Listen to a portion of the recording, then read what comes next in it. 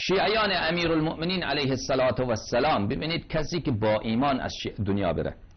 یکی از منازلی که در هنگام مردن انسان با اون مواجه هست هنگام العدیل عند الموت. عدیل عند الموت چیه؟ دوستان عزیز انسان هایی که زیاد گناه می‌کنن وجودشان شیطانی میشه. یعنی بعضی از کسان هستن اینقدر خدای نخواسته اینها کارهای خلاف افت انجام میدن اینقدر شراب می‌خورن اینقدر بینماز هستن اینقدر بعد حرمات الهی را مراعات نمی‌کنن ماه رمضان روزه نمی‌گیرن. و بعد همین قدر گناه انجام میدن که دیگر تمام وجود اینها شیطانی میشه. اینها انگام مردن ولو شیعه باشن انگام مردن اینها کافر از دنیا میرن. مسلمان از دنیا نمیرن.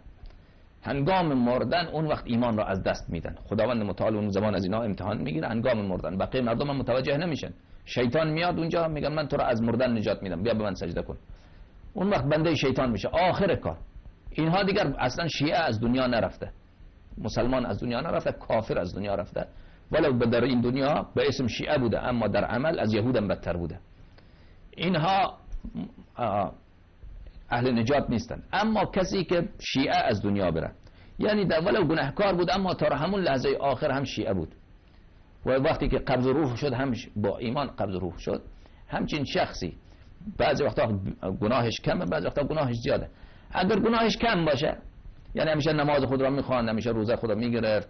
حالا یک وقتی نفهمید روزش مثلا باطل بوده روزش اشتباه بوده. یک وقتی یک جای دروغی زده یک جای یک وقتی به نامحرم نگاه کرده یک وقتی یک جای غیبتی کرده یک وقتی یک جای خلاصه یک خطایی از او سر زده. بندگان خدا همه گناهکارن. اینها را خداوند متعال عفو می‌کنه میبخشه. در همون انگام مردن میبخشه. یعنی این وقت که وارد قیامت میشه وارد عالم برزخ میشه قبر اینها همه گناهاش بخشیدنی هست بخشیدگی هست. و اونجا در قبر بهشتی و آغاز میشه. اما اگر کسی باشه گناهش خیلی زیاده.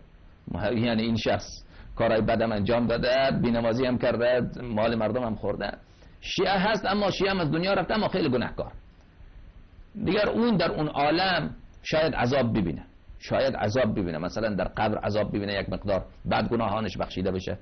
بعد مورد عفو خدا قرار بگیره. مثلا 50 سال 100 سال اونجا عذاب ببینه در قبر. بعد خداوند متعال عفو بکنه اهل بیت علیهم السلام هم شفاعت کنه اون وقت نجات بیابه. یا اگر گناهش از خیلی بیشتره در قبر مثلا عذاب نبینه در قبر هیچ نه عذاب ببینه نه عقاب ببینه. راه اصلا در قبر هیچ بهش کار نگیرن. نه ثواب بهش بدن اصلا نفهمه خواب باشه در قبر. اینطوری هم است بعضی از مردم در قبر خوابن. اینها عذاب و عقاب نمی‌بینن.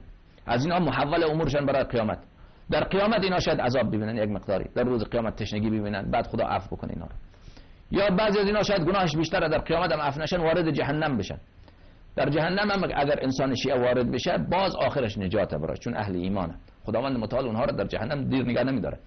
حالا مثلا مدتی ده سال صد سال بیشتر کمتر در جهنم که یک لحظهش انسان تحمل نداره.